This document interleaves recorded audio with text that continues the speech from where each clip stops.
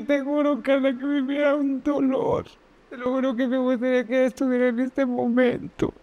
Saber que por lo menos está allá afuera. El tablero que tienes enfrente es la línea de tu vida, esa. En una palabra, ¿cómo lo llamarías? Valentía. Yo nací en Caracas, en un barrio de Caracas, el centro. Vengo de una familia muy sencilla, humilde, que le ha tocado trabajar duro, salir adelante. Mi abuela me enseñó lo que es el carácter y sobre todo a cuidarse a sí mismo. Mi abuela trabajó desde chiquitica para construir el futuro de mis padres, la casa donde vivieron ellos, donde viví yo, mi nacimiento, donde crecí y la verdad que vengo de una familia maravillosa que, que viene de abajo y que le ha tocado salir adelante con todo el esfuerzo, fe y esperanza que cualquier ser humano en esta tierra puede tener. Yo nací en 1992, el 18 de febrero. Soy signo acuario, nací casi que ahí a las 12 de la noche, pasaditas 12 y 15. En ese momento, mi mamá tenía 20 años, ella no quería ser madre pero le tocó. Mi mamá apenas estaba entrando en su etapa de, de crecer, de encontrarse como mujer, de cumplir sus sueños, comenzó a estudiar y le tocó parar y seguir trabajando. Pero pasa algo entre 1992 y 1994, que son dos años, que mi mamá se estaba separando de mi padre porque él no aceptaba y no creía que yo fuera su hijo, porque mi padre era un moreno, de piel morena y de pelo mucho más grueso y cuando yo salí blanquita, muy parecida a mi mamá, pues él no aceptó, no quería aceptar que yo era su hijo, su hijo en ese momento. Y comenzaron los problemas entre mi mamá en esos dos años. Era el... Mi mamá llegaba loco, borracho a la casa. Incluso lo golpeaban en la calle.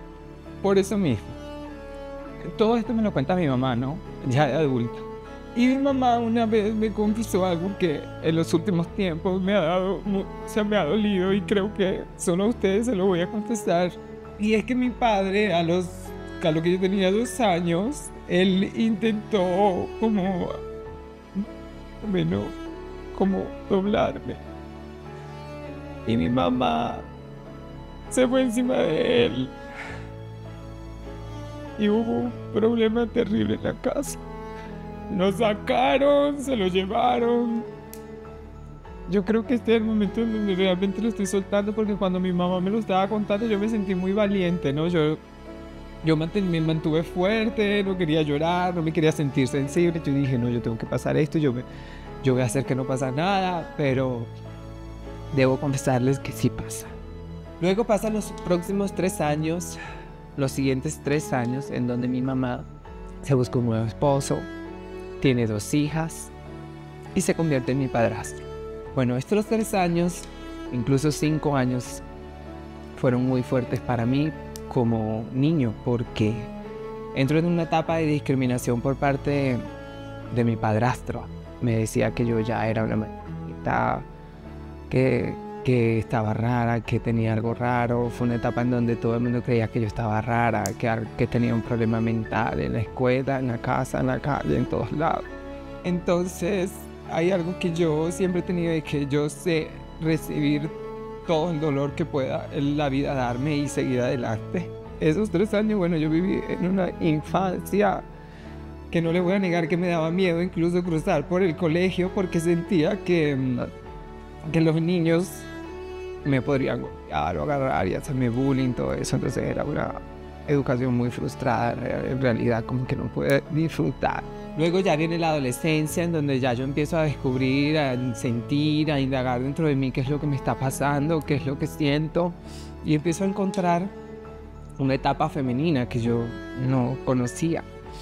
En ese momento empiezo a descubrir que me gustaba estar con mis compañeras del liceo y, maquillarlas, peinarlas, arreglarlas. Pues comenzaron otra vez la discriminación, los prejuicios en el colegio, en el liceo, que me tenía que cortar el pelo, que no podía llegar así, que tenía un problema mental, que tenía que ir a hacer pedagogía, que tenía que ir a psicólogo porque yo era diferente. Yo decido dejarlo.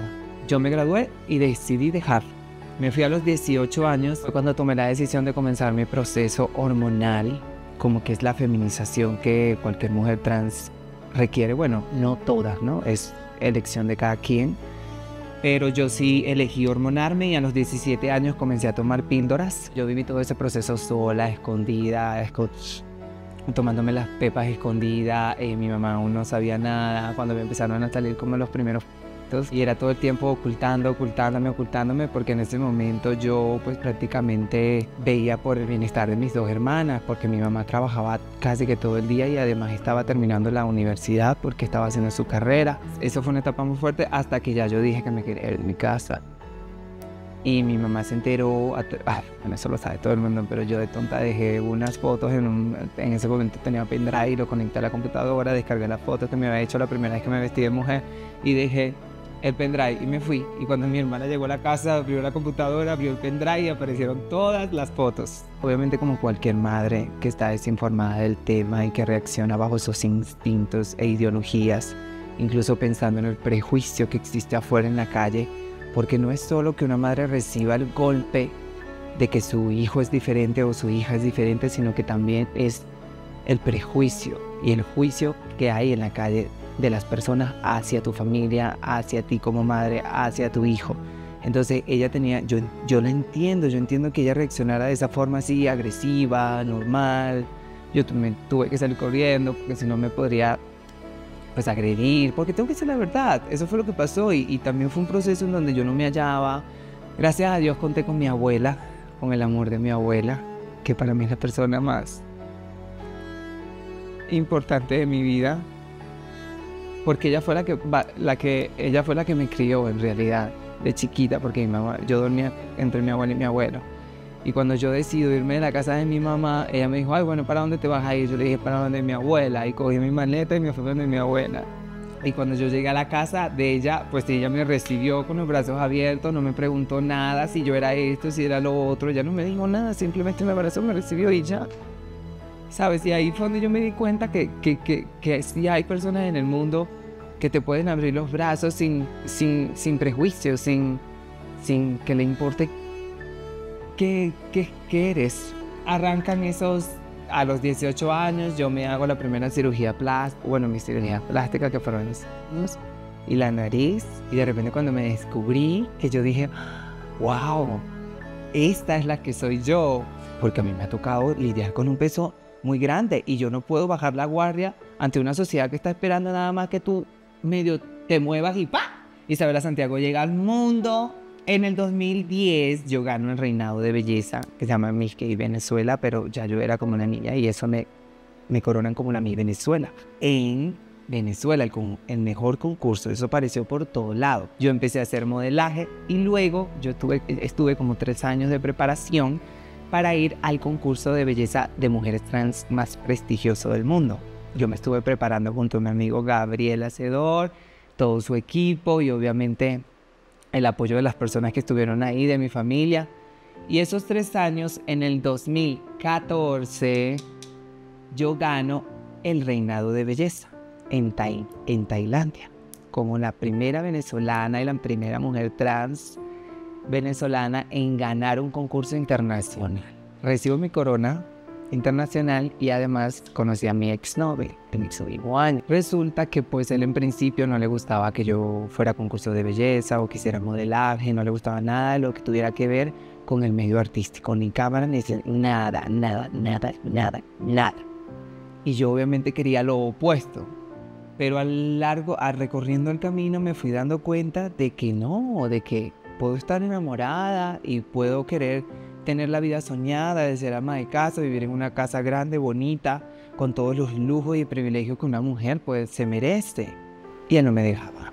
Entonces pensé y dije, no, yo no voy a preferir el amor de una relación o por un hombre antes que mis sueños y mis metas. Y yo me fui para este concurso. Él no quería que yo fuera y aún así lo gané. Luego de que yo entregué la corona, empecé a estudiar mi carrera como actriz, empecé a estudiar artes escénicas, eh, actuación en Miami. Después de que yo ya había entregado la corona, eso fue en el 2015, y él tampoco estaba de acuerdo. Hasta que en un momento yo le dije, oye, yo no voy a dejar mis sueños y lo que yo quiero ser en la vida por, por una relación. Y preferí, me preferí a mí, a mi sueño, a mi meta, a mi familia y el amor propio que me tengo antes que el amor. Llego a Colombia. Yo creo que para mí en el 2018 haber llegado acá fue un, un sueño hecho realidad que yo me paré enfrente del canal de televisión, el mejor canal de televisión allá en ese momento en Venezuela, y yo toqué la puerta y dije, yo quiero estar aquí. Entonces imagínate de los, de los 14, 15 años hasta los 26 esperando el sueño de estar en la televisión. La novela es del canal. Y me fue bien, hice el casting, me lo gané, hice el protagónico, luego llego en el 2022 a un reality de cocina. Me derrumbó. Me derrumbó, me sacó de mi burbuja. Ese reality me sacó de mi burbuja así. Uf, yo me sentí muy mal. ¿eh? Y me sentí muy mal. Yo pasé muchos meses que me sentía mal. Que lo sufría, que cada vez que lo pensaba lo sufría porque yo decía, Dios mío, estuve expuesta a, por ejemplo, a los caters de las redes sociales, expuesta incluso físicamente, emocional, espiritual, todo, todo, todo, mental.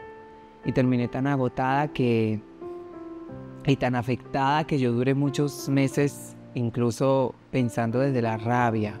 Fue la gota que derramó el vaso. Yo tenía que despertar en algún momento de la fantasía en la que venía viviendo.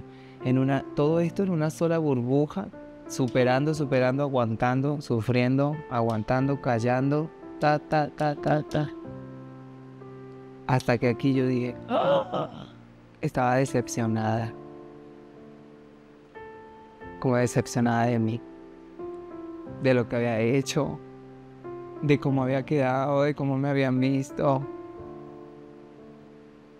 del de lo que había reflejado, de no haber tomado la decisión correcta al momento del reto de salvación, por ejemplo, o de no haber con, o de no haber, ay, son tantas cosas que pasaban que yo creo que yo estaba tan decepcionada que yo lo que hacía era sufrirlo, sufrirlo, sufrirlo, sufrirlo y no y en ningún momento me paré a pensar en lo bueno.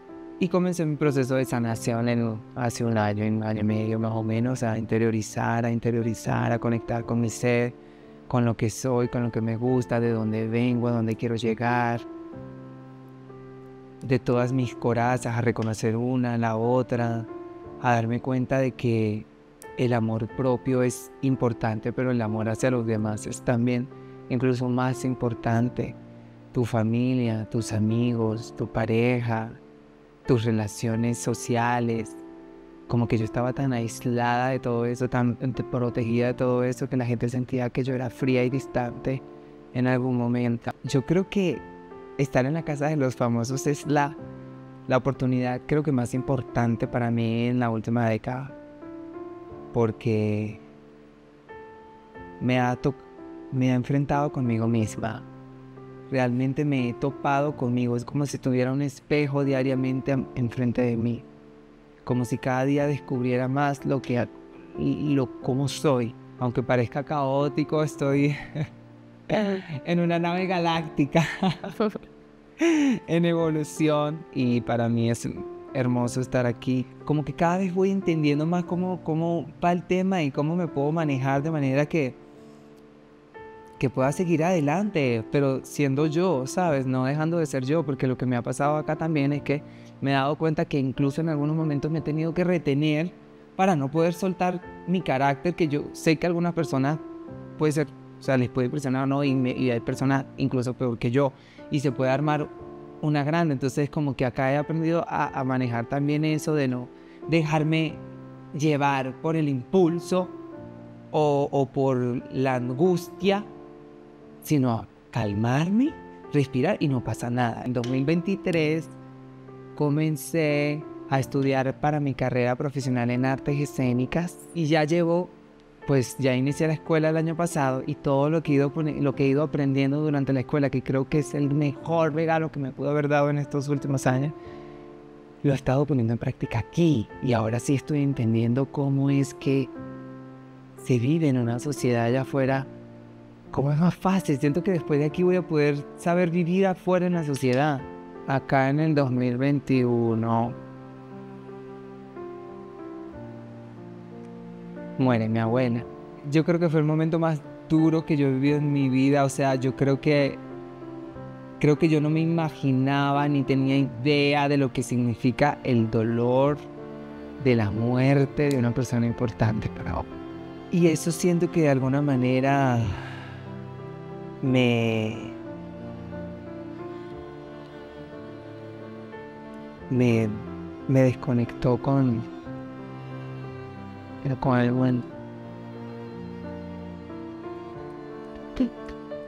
Es como si yo me sintiera en peligro. Yo te juro, Carla, que viviera un dolor.